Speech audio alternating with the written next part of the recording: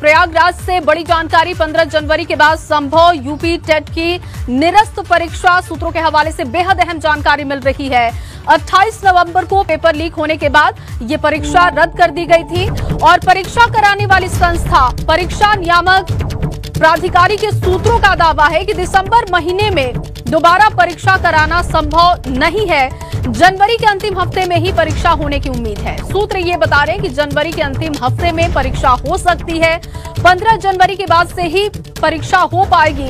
ये सूत्र बता रहे हैं। पेपर तैयार करने, छपवाने, पैकेट तैयार करने और जिलों में भेजने में वक्त लगता है। अभी पेपर छपने वाली एजेंसी तय नहीं हो पाई है। और इसीलिए दावा किया जा रहा है कि जनवरी के अंतिम हफ़्ते में पेपर हो सकता है फिर से।